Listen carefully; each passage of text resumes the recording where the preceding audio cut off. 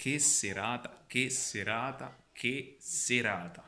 Ben ritrovati a tutti in questo nuovo video, iscrivetevi, attivate la campanella, lasciate un mi piace ditemi la vostra qui sotto nei commenti riguardo questo mercoledì di Serie A, turni infrasettimanale e riguardo specialmente le due partite delle 20.45, quindi Sassuolo-Napoli e Genoa-Milan. Io per motivi logistici ho visto molto di più la seconda, quindi mi sono, ripe- mi sono perso la rimonta del Sassuolo, anzi il quasi ribaltone del Sassuolo, aveva segnato 3 a 2,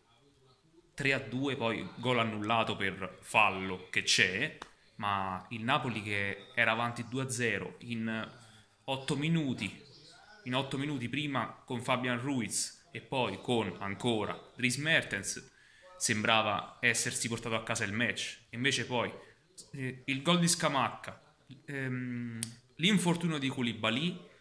fanno perdere delle certezze al Napoli che subisce il pareggio, subisce il pareggio e poi stava per perdere in maniera clamorosa. Sarebbe stata un'ammazzata gigantesca. Così è una bella mazzata in senso negativo per il Napoli, perché comunque ti potevi portare a casa tre punti, potevi rimanere ehm, con tre punti di vantaggio sul Milan e sappiamo che questo campionato è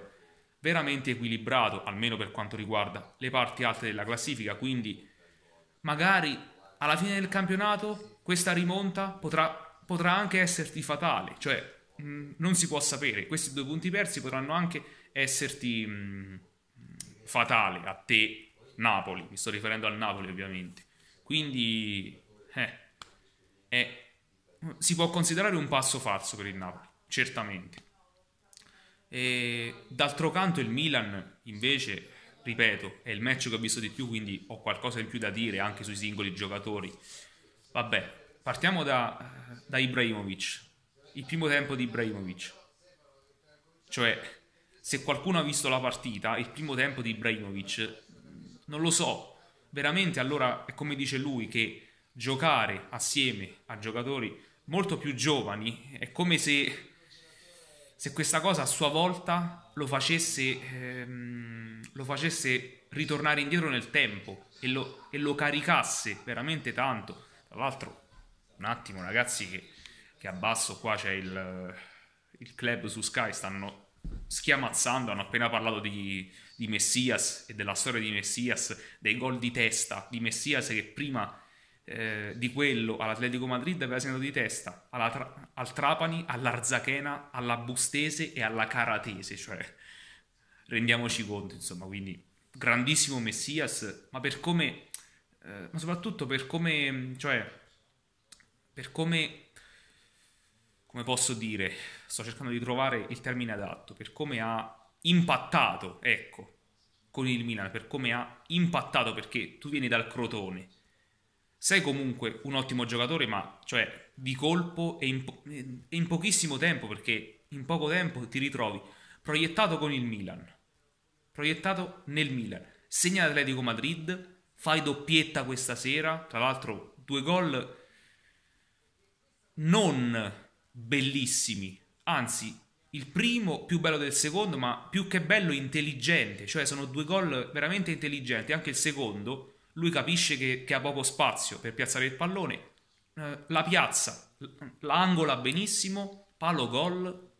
credo, comunque insomma, palla che, mm, che passa veramente vicino al palo e va dentro. Quindi un giocatore forte in uno contro uno, veloce, ma anche intelligente. Quindi grande Messias e veramente ce l'ho a cuore questo giocatore perché, cioè,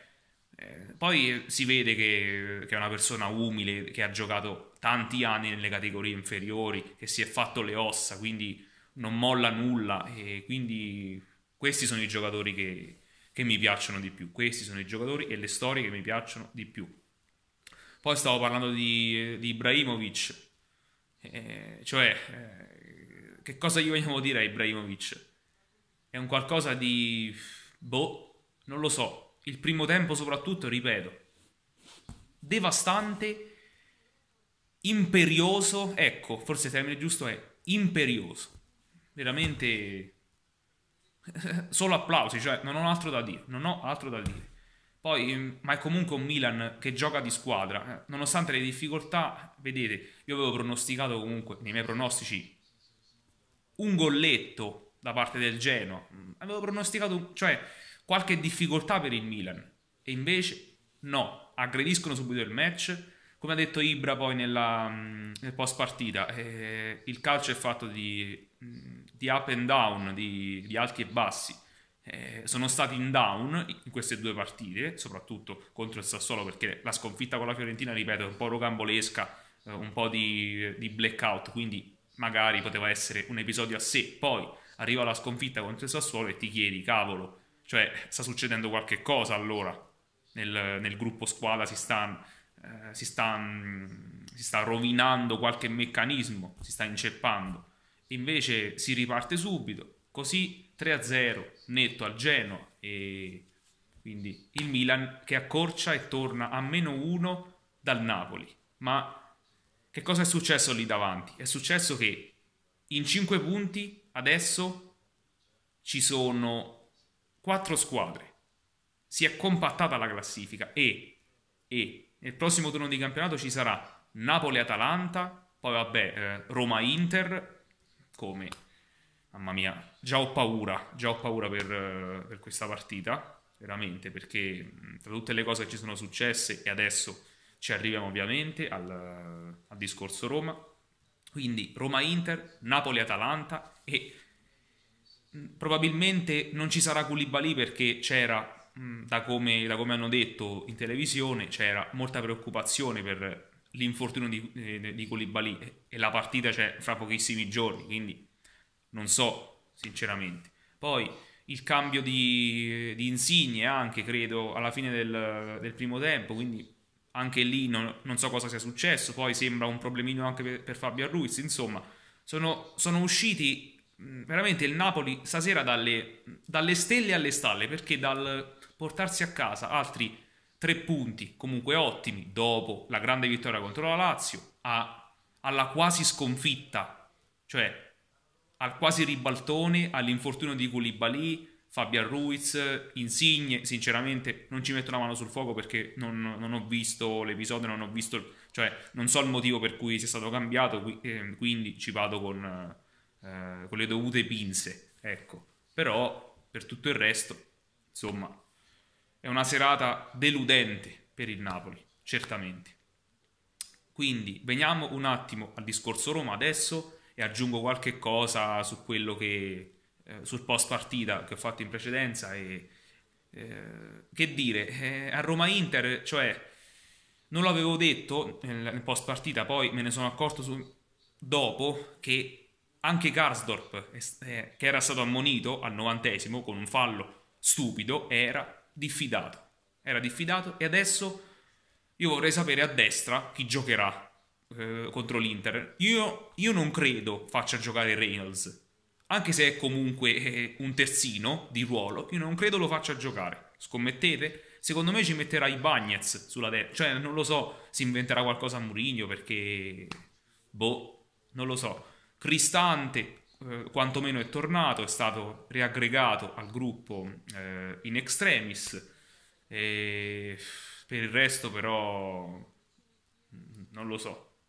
Cioè veramente recuperiamo giocatori e, e ne perdiamo altri in momenti importantissimi della stagione.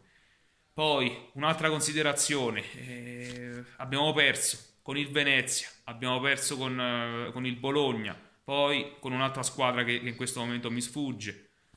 Eh, cioè non lo so, abbi- abbiamo vinto in maniera stiracchiata, ma comunque abbiamo vinto con Torino, con Torino e Udinese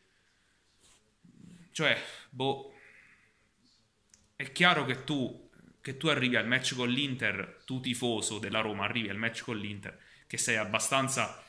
non dico depresso, ma mm, demoralizzato perché, cavolo, dici, oh, cioè l'Inter, l'Inter gioca a calcio, l'Inter è una delle quattro squadre che sono lì davanti che, che giocano a calcio più di, tutte,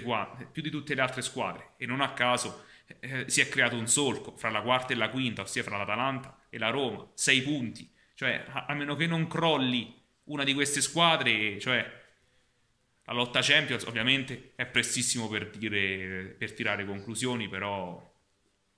è un dato di fatto. Quelle quattro giocano molto di più delle altre e, e la classifica non mente. E quindi, boh, non lo so. Cioè, come ci arriva la Roma, a Roma-Inter? Secondo me ci arriva abbastanza male